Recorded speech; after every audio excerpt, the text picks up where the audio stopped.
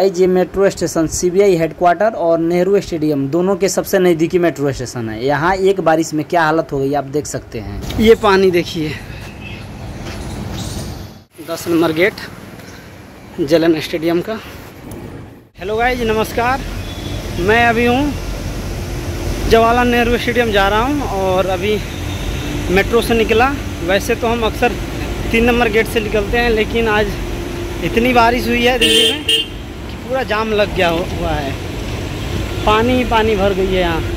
Side से जाने का रास्ता है। देखता हूँ निकलता है हूँ कि नहीं। बाकी यहाँ दिखाऊँ तो देखिए क्या हालत हो गई है। और यहाँ से पूरी पानी भरी हुई है, पूरी की पूरी। आपको मैं दूर तक दिखाऊँ तो दिल्ली की यही स्थिति है। या तो गर्मी रहती है, अगर बारिश हो गई तो बारिश के पानी को निकलने का कोई साधन नहीं रहता है।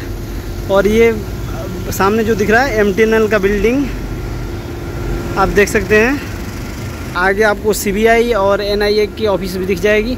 इधर से जाने का तो पूरी तरह से रास्ता नहीं है, पूरा बंद हो चुका है, देख सकते हैं। इधर पूरी पानी लगी हुई है और मैं देखता हूँ उधर से या तो पीछे से जाना होगा, नहीं तो नहीं तो उल्टे साइड से।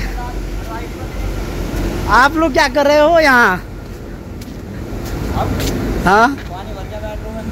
आज निकला तो देख रहा हूँ, वहाँ बंद था। देख सकते हैं पानी की हालत क्या है, यहाँ पे पूरा। कम से कम एक दो फीट पानी होगा यहाँ पर, ना?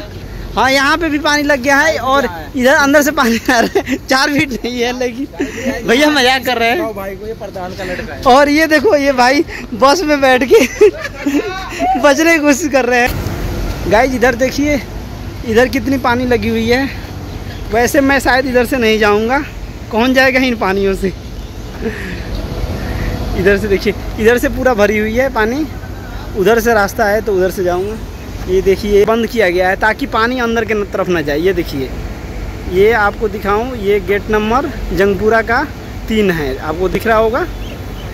और कितनी ज़्यादा वो लगाई गई है। कम से कम वहाँ पे एक फीट पानी होगी। मेरे को मतलब जहाँ तक अंदाज़ा है, वैसे ये लोग मज़ाक कर रहे थे कि हाँ उतना पानी है। तो चलता हूँ, उधर से वापस उल्टे साइड से निकल के, इधर से तो कोई फ़ायदा नहीं जाने का। ये भाई लोग गेट बंद कर रहे हैं ताकि पानी ना जाए मेट्रो में। आते चलते हैं आप लोगों को भी, और इधर से फिर उल्टा साइड से चलता हूँ, जिधर सीजो कम्प्लेक्स की बिल्डिंग है, उधर से रास्ता है। फुटपाथ से होते हुए मैं चल रहा हूँ।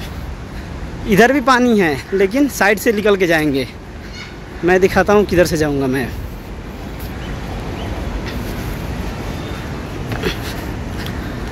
गाइस देखिए, ये ऑफ़िस वाले आ रहे हैं, जो अपने अपने ड्यूटी से इधर पूरा पानी लगा हुआ ही है,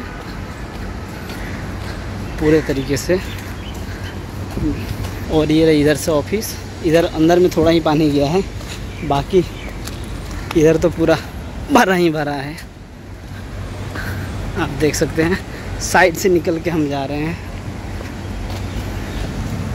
ये जो रास्ते हैं, ऐसे घूम के जल जमाव की स्थिति आप देख सकते हैं कितना बेकार है।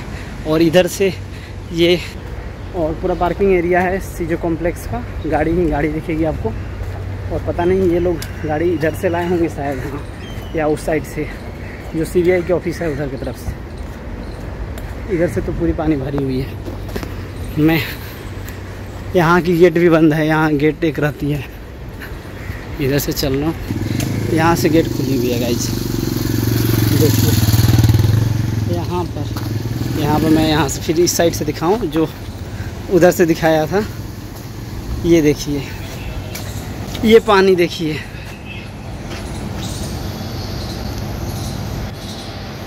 मैं वहाँ था, वहाँ।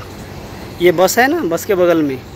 और वो सारी रास्ते उधर से होके आती है जो हम जाते हैं। ये पूरी भरी हुई है। पता नहीं अब निकल रही कितने देर में, काफ़ी टाइम लगेगा। वैसे थोड़ी सी बारिश में भर जाती है, लेकिन आज तो ज़्यादा बारिश हुई है। तो पूरी भरी हुई है। ये बसें तो हरदम लगी रहती है यहाँ पर। तो भाई, इधर से निकलता हूँ। ये है दिल्ली का हाल। Delhi capital city capital city of India, देखो। ऐसे मतलब ऐसे ऐसे दिल्ली में बहुत सारे स्पॉट हैं, जहाँ पानी बहुत लगी होगी और गाड़ी डूबी होगी, आप न्यूज़ में भी देख रहे होंगे। लेकिन ये नॉर्मल हाँ मतलब मेरे लिए तो नॉर्मल लगा, क्योंकि मैं देख चुका हूँ मुनिरका में भी काफ़ी पानी लगी रहती है। और इधर से मैं फुटपाथ से होते हुए चल रहा हूँ। बस बाकी यहाँ से दो तीन सौ मीटर जाने पर नेहरू स्टेडियम है। गाड़ी देख सकते हैं। इधर गाड़ी लगी हुई है सब। सारे ऑफ़िस के वालों की ही गाड़ी होती है। अब ज़्यादातर, और मैं थोड़ी सी धूप है, पसीना भी हो गया। वैसे छाता नहीं निकाला, क्योंकि ब्लॉग शूट करना था।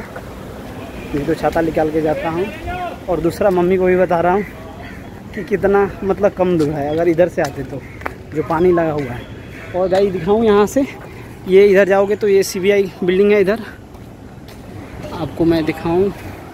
ये जो बड़ी वाली दिख रही है ना, वो और आगे की तरफ़ एन आई की बिल्डिंग है।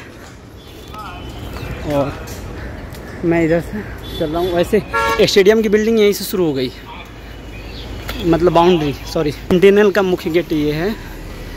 और ये देखिए जेलन का तेरह नंबर गेट सामने है दस नंबर गेट एक और चीज़ बता दूँ गाइज़ अगर आप मेट्रो से आ रहे हैं और कश्मीरी गेट की तरफ़ से आ रहे हैं तो आप भूल के भी जेलन स्टेडियम मेट्रो स्टेशन है, वहाँ मत करिएगा क्योंकि वहाँ से आने से में पैदल आपको कम से कम पंद्रह बीस मिनट लगेंगे।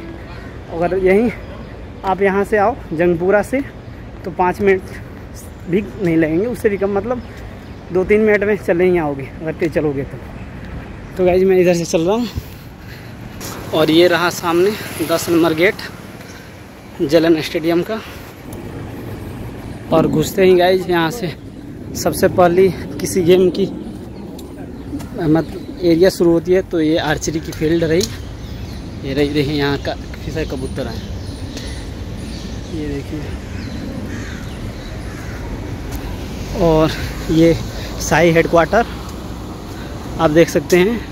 और एन डी टी एल जो राष्ट्रीय डो परीक्षण प्रयोगशाला है। उसकी बिल्डिंग है। तो गाइज़ ये दिल्ली की बारिश और बारिश के बाद की स्थिति और जेलन के बगल का जेलन का ब्लॉग आप लोगों को कैसा लगा? कमेंट करके बताइए। लाइक कीजिए सब्सक्राइब कीजिए। अपने दोस्तों में शेयर कीजिए। और जेलन के बारे में या दिल्ली के बारे में और भी कुछ जानना हो, देखना हो कमेंट कीजिए। मिलता हूँ अगले ब्लॉग में। तब तक के लिए